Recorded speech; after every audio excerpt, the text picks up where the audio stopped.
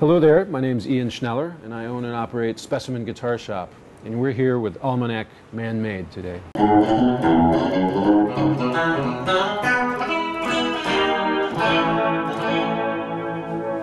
My name is Ian Schneller, and I operate Specimen Products here in Chicago.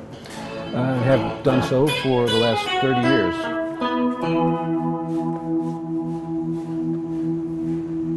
We've been manufacturing hornlets, hornlings, and leader horns, and little horns, and now little horn minis um, for the last three or four years, and shipping them all over the globe. So it's really been uh, hatching and, and, burgeoning, and I'm getting more and more interesting commissions from various people that are just sort of turn, turning me loose to, to create, and that's that's been a really uh, gratifying uh, step forward for me to be able to follow my whimsy a little bit.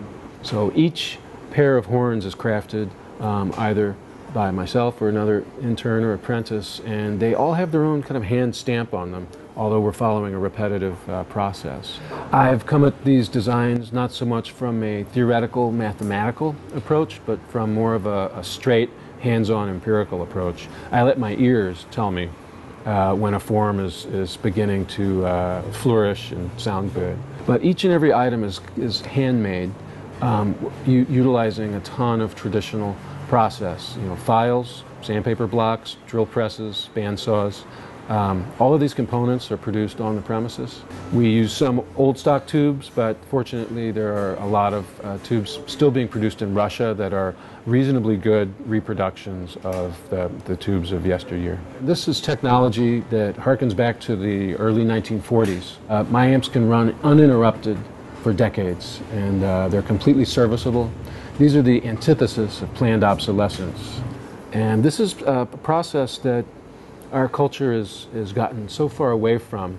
Uh, you know, digital technology, while it's revolutionized a lot of our process, it's, it's pulled away from our hands an innate human understanding of materials and process. And we all, we all think that this little magic device here, this little, little uh, electronic device is uh, just going to take care of us.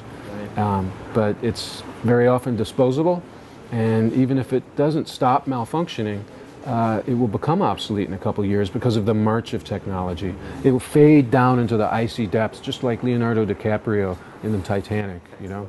My concern is to, is to draw people deeper into the materials and the methodology behind the construction. That's my payback as a, as a teacher. Um, the, the music is like bait. It, it, it pulls people in and focuses their, their understanding on what's in front of them to me, that's what art is for.